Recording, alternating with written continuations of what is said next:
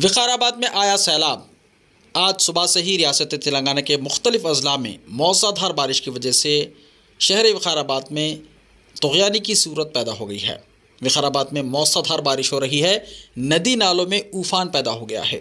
सुबह से ही यहाँ पर मुसलसल बारिश हो रही है।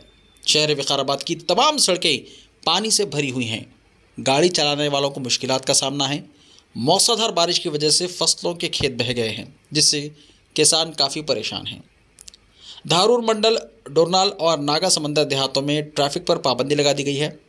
विकाराबाद पुलिस ने अपने एहलकारों को नदियों के करीब तैनात किया है, ताकि लोगों को सड़क पर बहने वाली नदियों से आगाह किया जा सके।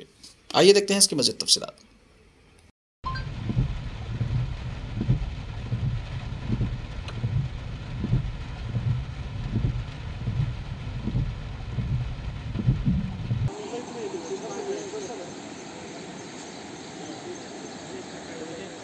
perra.